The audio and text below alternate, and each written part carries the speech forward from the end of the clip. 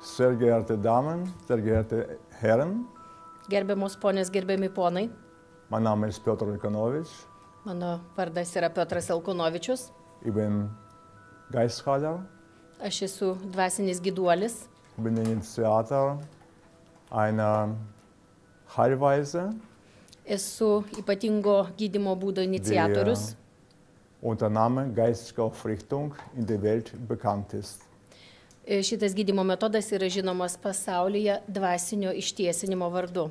Mit meiner Frau Charlene, Su savo žmona die auch Heilerin ist, ji irgi yra gyduolė, stellen wir unsere Spezialität mes pristatome savo ypatingą metodą mehrere Länder įvairiuose pasaulio šalyse.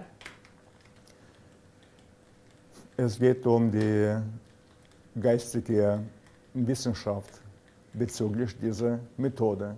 Šitas metodas liečia ir dvasinius mokslus. Es ist ein kosmisches Wissen Tai yra kosminės žinios und dieses kosmische Wissen vermittle ich an die, die interessiert sind, meine Methode zu folgen. Ir šitas kosminės žinias aš perduodu tiems, kurie domisi mano metodu ir pasiruošia juo sekti. Es geht um die geistige Aufrichtung des Menschen. E, Tai yra dvasinis žmogaus ištiesinimas. Die Spezialität ist die Aufrichtung der Wirbelsäule. E, Metodo ypatybė yra stuburo ištiesinimas. Hm, Zudem ist in Litauisch ein Buch übersetzt. Apie šitą metodą yra iš, išversta į lietuvių kalbą knyga. empfehlen. E, Galiu tik patarti kiekvienam tai įsigyti ir paskaityti. Jeder, der die geistige Aufrichtung erlebt hat, Kiekvienas patyręs dvasinį ištiesinimą fühlt sich sofort frei von Schmerzen, von Leid, von Pein. jaučiasi iš karto išvaduotas nuo skausmų, nuo kančių ir nuo negalių. Im Moment existieren in Litauen zehn hm, wirkende Heiler unserer Schule. Šiuo metu Lietuvoje yra jau dešimt gyduolių dirbančių pagal mūsų mokyklą. Bei diesem Besuch in Litauen haben wir noch sechs dazu vorbereitet. E, Šio vizito į Lietuvą metu mes paruošėme sekančius šešis gyduolius. Die stehen zu unserer linken und zu unserer rechten Seite. Jūs matote juos mūsų kairėje ir dešinėje pusėje. Alle Heiler unserer Schule Visi mūsų mokyklos gyduoliai sind fähig, genauso wie ich, turi tą geistige patį Aufrichtung. gebėjimą vorzustellen. e, pristatyti dvasinį ištiesinimą, Denn diese Hilfe ist die erste und einzige Hilfe, nes was ši, die Menschen brauchen. nes ši pagalba yra vienintelė e, pagalba, kurios žmonėm reikia. Hiermit lösen wir das Problem mit der Wirbelsäule. Šiuo metodu mes išsprendžiame stuburo problemas. Und ich empfehle euch unbedingt, diese Heilweise kennenzulernen. Ir galiu jums tik rekomenduoti pažinti šitą gydimo būdą. Unsere Schüler werden sich jetzt im Einzelnen vorstellen. Mūsų mokiniai dabar kiekvienas prisistatys. Ich wünsche allen, die auf der Suche sind, nach der Herstellung vollkommener Gesundheit, unsere Methode kennenzulernen. Linkiu visiems ir rekomenduoju visiems, kas ieško pagalbos nuo nugaros skausmų, patirti mūsų gydimo metodą ir kreiptis į šios gyduolius. Dėkoju.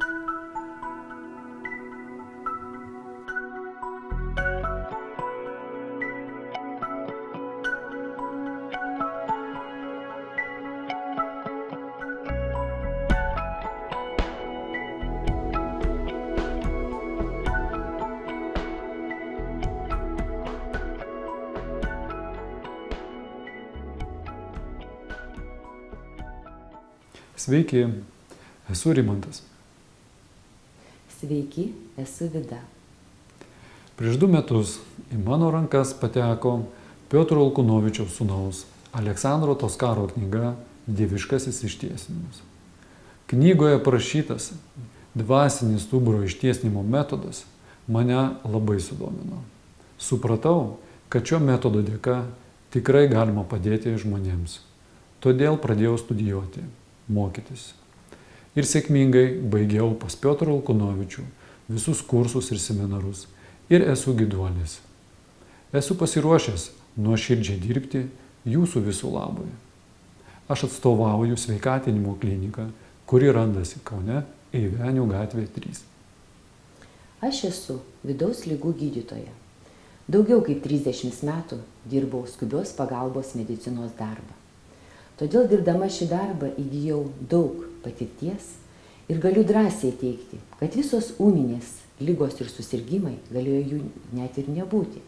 Tačiau visi susirgymai dažnai kartodavosi ir pereidavo į lėtinės lygas. Todėl žmogus pasmerktas ilgą laiką vartoti vaistus, o gal net ir pastoviai visą likusi savo gyvenimą, patirti skausmus, operacijas, įvairias korekcijas ir įvairius sutrikimus.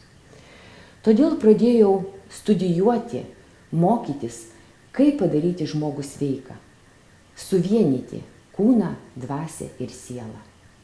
Ir tai patyriau, pajutau, kadangi į mano rankas pateko Piotro Alkunovičiaus knyga Dieviškas dvasinis ištiesinimas. Patyrėme dievišką stuburo ištiesinimą ir, ir mes kartu su vyru Rimantu Todėl pradėjome studijuoti, mokytis ir tapome giduoliais. Dieviškas ištiesinimas pagal Piotro Alkunovičiaus metodą tai yra pagrindas visą apimančiam išgyjimui. Tai yra įrodomas, matomas, dvasinis gydimas, nekartojamas ir pastovus išliekantis visą gyvenimą. Tai apima visą žmogų, atstato jo pusiausvyrą, suteikia jam dvasinių jėgų, sukoreguoja visus esančius sutrikimus fizinėme, dvasinėme, emocinėme, psichinėme lygmenyje. Ta patyrė tūkstančiai žmonių ir jaučia visišką išgyjimą. Patirkite, ateikite, pamatykite dieviško ištiesinimo galę. Mes randamės Kaune, Eivenių gatvė 3, sveikatinimo klinika.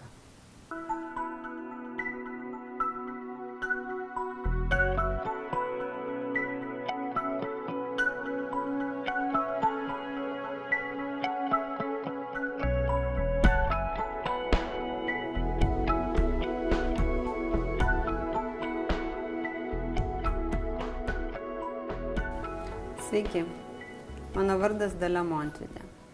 Apie Piotro Alkonovičiaus dvasinio gydymo metodą aš sužinojau 2012 metais iš savo draugės. Tais, tais pačiais metais mes su, su vyru ir vaikais atvykome iš Anglijos, kad gautume šitą dovaną ir išsitiesintume.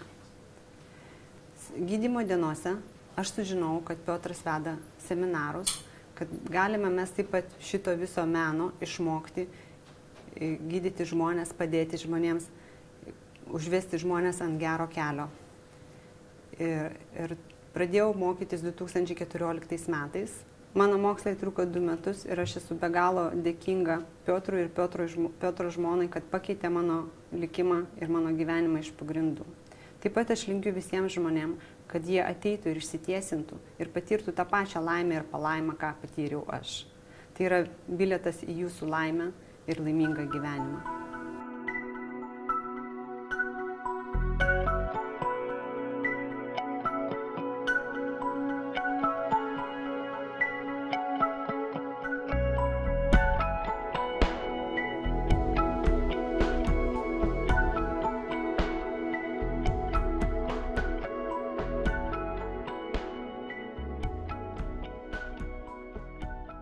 Aš esu Valdemaras.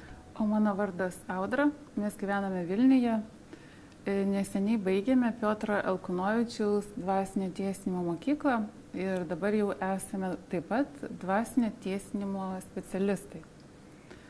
Patys buvome ištiesinti Piotro maždaug prieš pusantrų metų, po to pajutome e, dvasinį ir fizinį palengvėjimą, todėl taip pat pradėjome eiti šito keliu Mes norime padėti žmonėm patiem patirti šito ištiesinimo stebuklą, kad jie taip pat atrastų džiaugsmą, ramybę, mm, santarvę su savim ir aplinka. taip kaip tai patyrėme mes.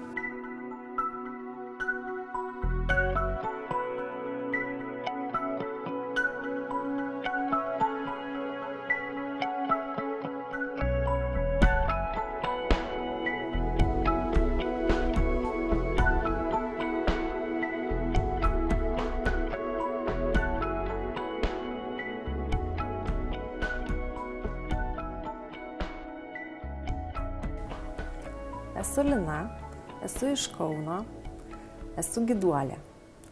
Dvasinis ištiesinimas pakeičia ne tik fizinį žmogaus kūną, pakeičia visą gyvenimą.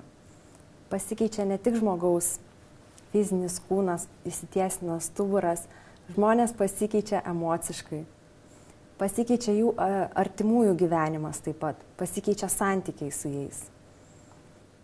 Ejau tiesintis visiškai to netikėdama, rezultatai nuo to visiškai nesikeičia. Pasikeis jūsų tikrai visas gyvenimas. Džiaugiuosi, kad esu gyduolė ir padedu žmonėms. Galiu padėti ir jums. Kreipkitės.